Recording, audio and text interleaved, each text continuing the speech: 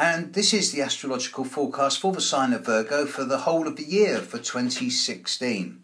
It's going to be a bit of a mixed year. There's ups and there's downs. Let's deal with the planets first of all, and then we'll summarise what's coming up for this year. Pluto seems to be working quite well for a number of you.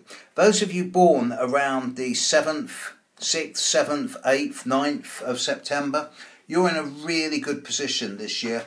There's a great deal of um, solid transformation which is doing low level but constantly healthy, wondrous work in terms of self confidence, self belief, and psychological self assuredness. And this is going to be one of the years where you really do make things happen. Lovely. On the other hand, Neptune is directly challenging a few of you.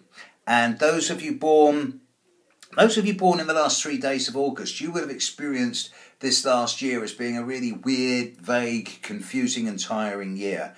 And that's continuing for the first month or two of 2016. But by the time we're into March, it's going to be those Virgos born primarily around the 1st, 2nd, 3rd of September who are going to come under Neptune's eye. And if you're one of these, be aware that there is going to be an element of fatigue during 2016. Not tiredness, illness, or disease, but fatigue and weariness. And you will need to take the occasional day out where you just go, right, I'm tired, I'm going home, I'm going to have a bath, and then I'm going to bed, or a walk in the country, or a, a walk by the seaside. You'll need to get away from the manicness of life.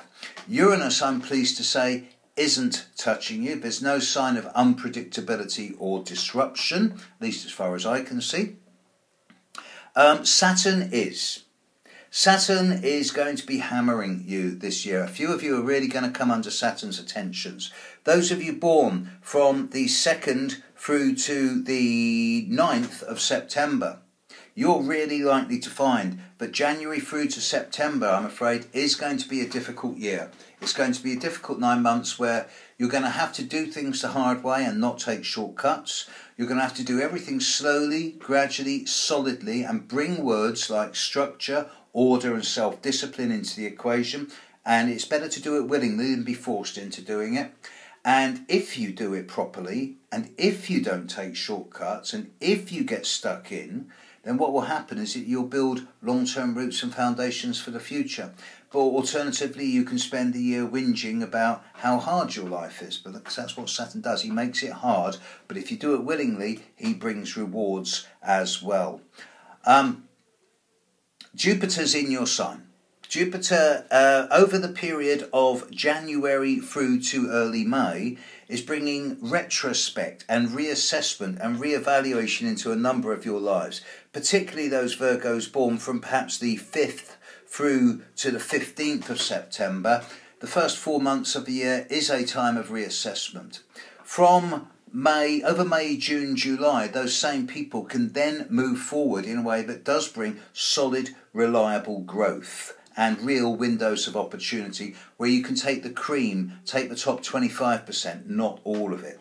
And those Virgos born after the 16th of September, you should find that the month of August and, and early September is actually very fortunate indeed. After this, Jupiter moves into Libra and doesn't touch you. A few of you are going to get hit by the Mars retrograde, and when I say a few of you, I mean primarily those born on or before August the 30th. If you're one of these people, please be aware that the time of March and April, as well as August, is going to be a time where your buttons can get pushed and there will be the need to count to 10 during these times because there will be an element of provocation. And later in the year, there is a Mercury retrograde in Virgo in the first three weeks of September. Mercury will be retrograde in the second half of Virgo, directly affecting those people born on or after the 7th of September. And the first three weeks of September is really not a good time to be uh, buying a new car, buying a house, making long term commitments or agreements because it's not going to work out the way you expect.